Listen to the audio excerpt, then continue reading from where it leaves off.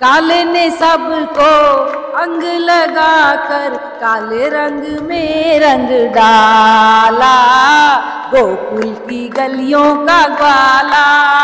चढ़ती कला चढ़ती कला, जिंदाबाद। धन्यवाद साहब। बहुत बहुत। देखिए मकसद तो ये है कि इस महीने को 20 मई से लेके 20 जून तक हमारी पार्टी आप मेरे गाँव में आए हो मेरी प्रार्थना भी करूँगा आपका। स्कूल में जाकर देखो कि साफ़ सफ़ाई की कितनी दुर्गति है। कैलाश सुसैनी जी के बच्चे या पोते पोते या द्योते द्योती भी गवर्नमेंट स्कूल में पढ़े। ऐसी स्कूल क्यों नहीं बनाया आज तक हरियाणा में? उस रोड का सर्वे कर रहे थे जी एक सरदार जी थे पंजाब से आए थे। तो उन्होंने पता क्या ज़्यादा ज़्यादा वीडियो शेयर कर दियो और कमेंट में सवाल जवाब ज़रूर करिए कि भाई कितने सही जवाब दिए हैं, कितने गलती हैं। चढ़ता हरियाणा देखने वाले सारे दर्शकों ने, सोनू अजय बुढ़ा खेड़ा की प्यार भरी मीठी मीठी राम राम। आज हमारे साथ फ्रेम में मौजूद हैं कैलाशो सैनी जी, जो पूर्व सांसद रहे कुरुक्षेत्र से, और गाँव बूढ़ा खेड़ा की पावन पवित्र धरती पे आज आके दर्शन दिए हैं। जानेंगे मकसद के थाने का। सैनी साहब, नमस्कार। सबसे पहले चढ़ता हरियाणा पर मेरे गाँव में पहुँचे, आप स्वागत करते हैं। थैंक यू देखिए मकसद तो ये है कि इस महीने को 20 मई से लेके 20 जून तक हमारी पार्टी प्रचार प्रसार अ, महीने के रूप में मना रही है कि पार्टी की जो भी पॉलिसीज़ हैं पार्टी ने जो भी जन कल्याण के कार्य किए हैं लोगों के लिए उनका प्रचार प्रसार करें। और मैं तो पहले भी यहाँ से सांसद रही उस नाते भी मेरा यहाँ लोगों के बीच में आना फ़र्ज़ बनता है बीच में भी आती रही। पर अब थोड़ा सा महिलाओं से भी खास तौर पर मैं बैठ के बातचीत कर रही हूँ। जैसे यहाँ पर तपस्वी जी तपस्या भी कर रहे हैं हमारे गिरी जी महाराज।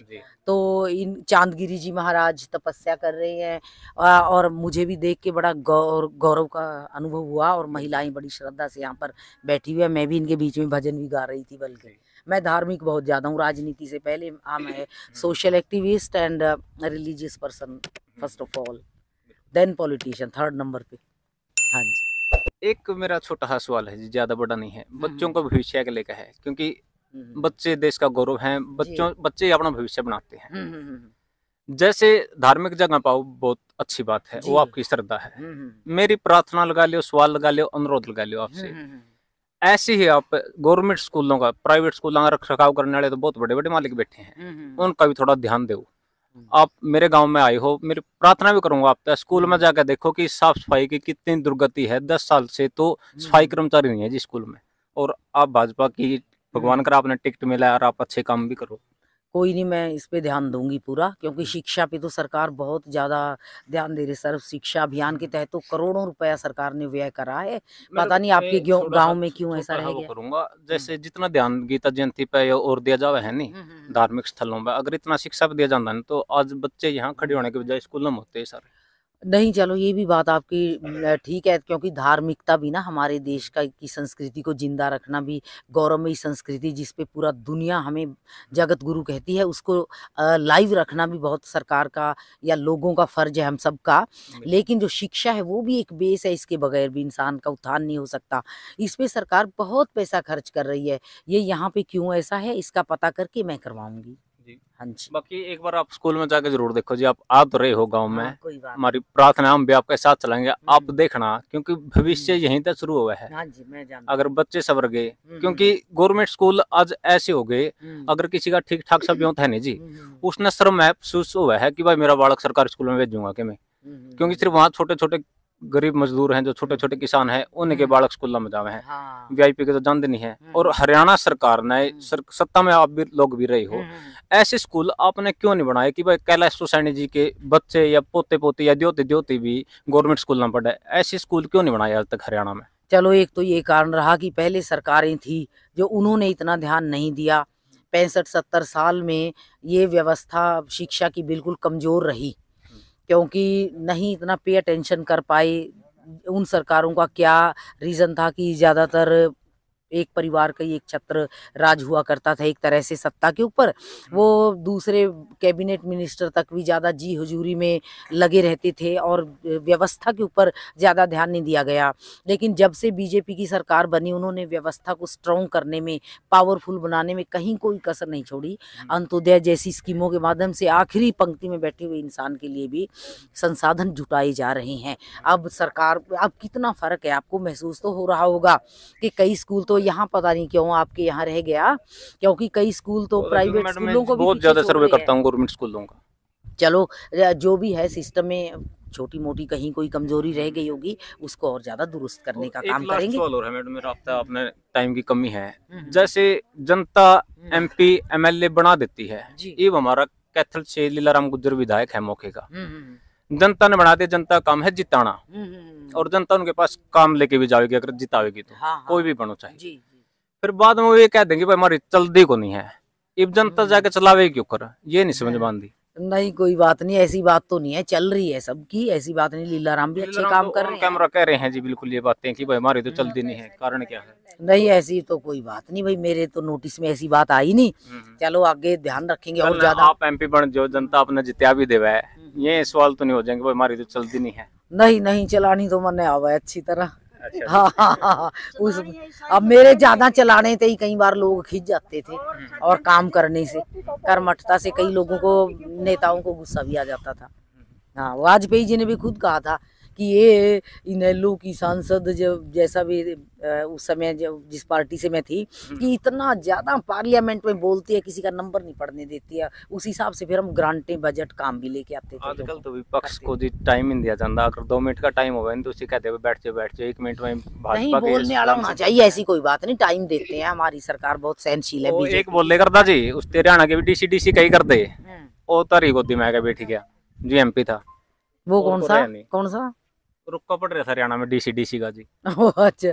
चलो देखिए हालात की बात है। देखो मैं तो इतना जान समझ समझ सकती हूँ कि भाई करने वाला होना चाहिए काम। हमारी सरकार ने पूरी छूट दे रखी है। हर हलके का समान विकास अब देखो कौन करवाता है? जहाँ हमारा एमएलए भी नहीं वहाँ भी समान रूप से विकास करवाया जा रहा है। मैडम विकास का तो ऐसा है कैथल में तो बहुत बुरा हाल है। आपका विधायक भी है। कैथल से ची का जो रोड है नहीं जी। लोग ये कह रहे हैं जब भाजपा जजपा की सरकार हरियाणा तक जाएगी ना तब हम नई मोटरसाइकिल नई गाड़ी तब लेकर आवे क्योंकि खड्डे इतने बड़े बड़े हैं ले आए तो टूट जाएगी। तो ये तो लोगों की वैसे थिंकिंग है अभी नोटिस में तो दो सीएम साहब अब सीधे डायरेक्ट जनसंवाद जी आपके विधायक हैं जी गठबंधन के विधायक हैं पचास बार तो वो बोल चुके हैं। नहीं चलो होगी ऐसी बात नहीं करवाएँगे वो भी करवा रहे होंगे कोशिश कर रहे होंगे पर चलो बन जानी चाहिए थी उसमें कहाँ कोई किसी क्या कम्युनिकेशन गैप रहा या क्या रहा लोगों को भी उस रोड का सर्वे कर रहे थे जी एक सरदार जी थे पंजाब से आए थे। तो उन्हीं से पूछना। उन्होंने पता है क्या हुआ? मेरे से ना पूछो। असली सवाल ना है मैं तो ये बसते हुए नज़र आ रही हैं कला सुसानी जी। मुझे मौका मिला ना मैं ज़रूर रोक काटूँगी। मैंने तो मौका तो एक बार आपको पहले भी दिया था जी। फिर मैंने करे थे काम। अपनी गाड़ियों में लेके जाती थी। अच्छा। हाँ और फिर छोड़ के भी जाती थी लोगों को घर तक पहुंचाती थी। खाना भी खिलाती थी कोई भूखा भी ना मेरा वर्कर रह जा। इतना तो ध्यान करती थी। वो तो बाईस साल की बातें होंगी ना वैसे सभी जाते थे। बर्थुराम पाडलर तो दिल्ली मेरे फ्लैट पे ही बेचारे रहते थे ज़्यादातर बल्कि काम ले लेके। ठीक है अंत में बता दीजिए चढ़ता हरियाणा के दर्शकान आप क्या कहना चाहोगे? क्या? किस बारे में? चढ़ता हरियाणा के दर्शकान के अच्छा मैं तो ये यही कहना चाहूँगी दर्शकों को कि बीजेपी की सरकार जो मोदी जी ने दुनिया में भारतवर्ष का सम्मान आत्म सम्मान बढ़ाया है भारतवर्ष जिसके लिए जाना जाता था जो बीच में धूमिल हो गया था उसको गौरवान्वित करने के लिए जो मोदी जी ने ऐतिहासिक कार्य किए उनके अदम्य व्यक्तित्व ने जो निर्णय लिए हैं वो राष्ट्र हित में लिए हैं और हरियाणा की सरकार भी बेटर कार्य कर रही है। अगले बार भी आप गुमराह ना होकर के बीजेपी की ही सरकारों को लेकर के आए नाचेंगे। नाचो जी भाई नटखट बड़ा नंद लाला, गोरे से हो गया काला। काले ने सबको अंग लगा कर काले रंग में रंग डाला, गोकुल की गलियों का ग्वाला। नटखट बड़ा नंद लाला, गोरे से हो गया काला। लो चंदन का टीका लगा दो, मोहन को मनमोहन बना दो। मोर मुकुट इसको पहना दो मोर मुकुट इसको पहना दो। देता है धमकी तोड़ के मटकी माखन चुराने वाला गोकुल की गलियों का चलो। ले भाई कैलाश हुसैन जितनी बढ़िया सांसद थी उतनी बढ़िया सिंगर भी हैं। बनाऊँगा एक दूँगा मार अंत में चढ़ता हरियाणा देखने वाले सारे दर्शकों ने सोनू अजय बुढ़ा खेड़ा की प्यार भरी मीठी मीठी राम राम। जय जवान जय किसान। चढ़ता रहे। हाँ जी। और आपकी पत्रकारिता भी चढ़ती रहे। धन्यवाद। चढ़ती कला चढ़ती कला जिंदाबाद। धन्यवाद शानी साहिबा। बहुत बहुत। अच्छा धन्यवाद दीदी। ठीक है ठीक है ठीक है। आप थोड़ी सी हमारे कहानी भी सोच लियो। सोचांगे पूरा, मगर सोचने बत्ता ही गिर रहे हैं बाकी